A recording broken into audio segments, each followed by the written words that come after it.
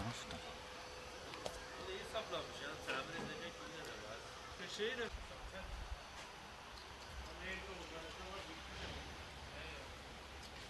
Gece saat 2-3 civarlarında bir tane 40-45 yaşlarında adam geliyor. Elinde bıçağı alıyor. Saplaya saplaya gidiyor.